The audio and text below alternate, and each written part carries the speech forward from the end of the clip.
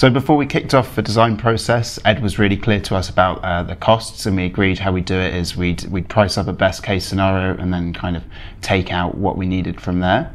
Um, Millie, the designer, was really helpful. Uh, we went through loads of their previous work and kind of picked and chose the bits we liked and, and what we didn't. And, uh, you know, they went away from there and created something that was, you know, we really liked straight away. Uh, we had a few uh, changes here and there, but mostly, you know, it was a really good, easy process for us. As a group of recruitment brands, we've got uh, you know quite a few brands to work with, so it was a challenge for us to kind of pick one color scheme and one style that worked for all of our brands. But Vinyl Impressions really chose a something that really you know fit our business as a whole.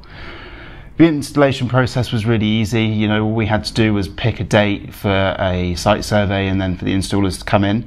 I mean, lots of our staff were still working from home while we had the installation uh, done. But to be honest, I think even if everyone was in the office, the disruption would have been minimal yeah, at the end of the day, we're really happy with, with how the office looks. And, you know, coming out of lockdown, it was really helpful. Um, the new office really helped get our staff enthusiastic about coming back to work.